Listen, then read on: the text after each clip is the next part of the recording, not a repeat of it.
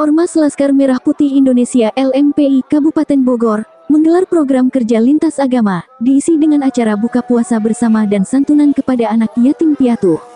Acara yang digelar di Masjid Al-Fatah Kampung Tugu Margasari, RT 03 RW 07 Kelurahan Kertamaya, Kecamatan Bogor Selatan Kota Bogor tersebut, sebagai bentuk kepedulian sosial dan rasa ingin berbagi terhadap sesama di bulan suci Ramadan tahun 1444 Hijriah.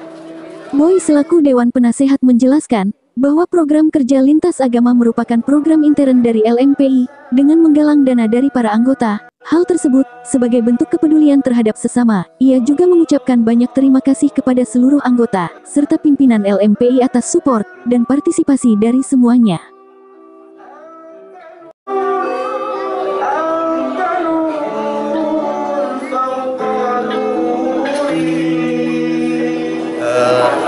Pada hari ini kita sudah bisa melaksanakan apa yang menjadi program kerja kita. Karena memang eh, program kerja lintas agama ini adalah program kerja internal kami. Ada yang sifatnya itu bulanan, ya ada juga triwulan, ada yang tahunan. Yang ini dilaksanakan setiap tahun, di mana kita dilaksanakannya sudah pada bulan puasa. Sambil kita berbagi dengan para anak yatim, ya juga kita berkoordinasi dengan para donatur, simpatisan yang memang mau beramal. Kan alhamdulillah kami bekerja sama dengan uh, Majelis Al-Fatah di mana pimpinan Majelis Al-Fatah ini adalah salah satu uh, pengurus kami di, di bidang lintas agama itu untuk tempat uh, sendiri Pak? Untuk tempat sendiri apakah rolling atau misalnya di satu tempat aja? Uh, biasanya di rolling Bu. Uh, rolling kita ada pada tingkat uh, ranting atau tingkat MAC atau tingkat kecamatan. Ada juga kami dipusatkan di Marcap atau di uh, pimpinan markas cabang Kabupaten Bogor.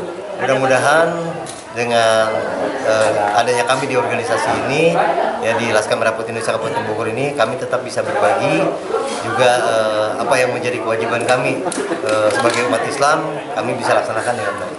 Jadi kami ini menghimpun dan itu dari kami, oh, dari, dari LMP semua, tidak ada yang dari donatur. Jadi artinya memang ini sudah jadi kegiatan kami. Setiap ada acara apa pun, baik milad, terus lagi apa pun itu pasti kami akan ikut yatim, anak yatim dalam acara tersebut. Ustadz Fikri selaku pimpinan dari Masjid Al-Fatah, juga sangat bersyukur atas program dari LMPI, dan berharap agar kegiatan mulia ini dapat menjadi contoh bagi yang lainnya. Baik, Assalamualaikum warahmatullahi wabarakatuh.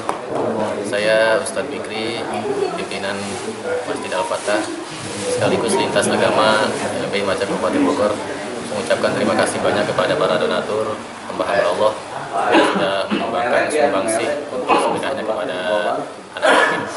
Dan juga saya terima kasih kepada media yang sudah hadir meliput kami di sini. Terima kasih banyak.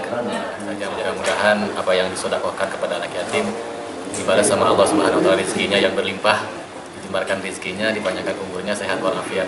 Dan kami melaksanakan santunan anak yatim bukan hanya di bulan Ramadan saja, tapi nanti akan adakan kembali di 10 Muharram 10 Muharram akan diadakan kembali santunan yatim ya Masjid Al-Fatah ini. Dari Kertamaya Bogor Selatan Tim Radar Informasi mengabarkan.